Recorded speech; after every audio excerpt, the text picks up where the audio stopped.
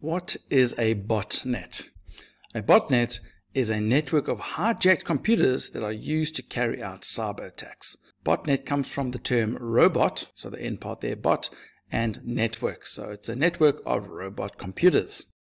What are botnets used for? Well, the most common one is a distributed denial of service attack when they target a particular server or website with multiple requests in order to make that server or website crash.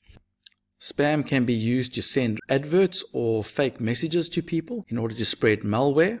Phishing attacks in order to get people to give out information that they're not supposed to give out. If you want to learn more about phishing, go to our video on phishing, link in the description. And brute force attacks, where you use multiple computers to try different combinations of passwords or email addresses to try break a particular combination or get the correct password. If I'm the person that's controlling the botnet, I am often referred to as the bot herder, and I will then take control of multiple computers to add to my network of bots. I can use viruses or phishing attacks in order to create this botnet, and these computers are under my control, and they are often referred to as zombie computers. And I will then make these zombie computers do my bidding as the bot herder.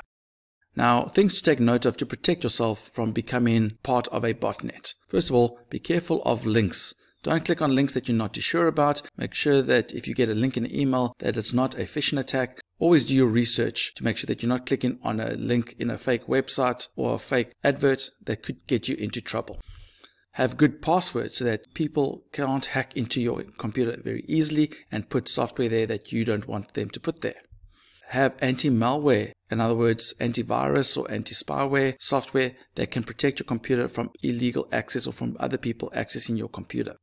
And always update your software. There are lots of security loopholes that appear in different programs, and by updating it, you will then fix those security loopholes. And those are what I suggest you do in order to protect yourself from becoming a part of the botnet. Let us know which computer term you want us to cover next by leaving a comment. Also, click on that subscribe button and share us with your friends. And remember, don't do it the long way. Do it the Mr. Long way.